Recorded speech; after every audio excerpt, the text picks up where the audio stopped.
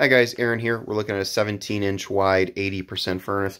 It has the larger flue pipe running over and I think that's caused some concerns with corrosion. We may want to reduce this um, in the horizontal here. Um, we have a newer humidifier. That's going to stay. Has a good water valve. Um, we're looking at the buy one, get one. If we do decide to do the furnace, we are going to switch to a media cabinet.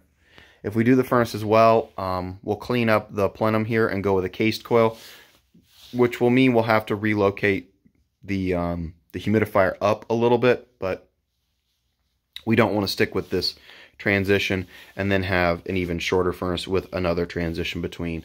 Um, outside of that, electrical is right behind me. It is a Siemens box.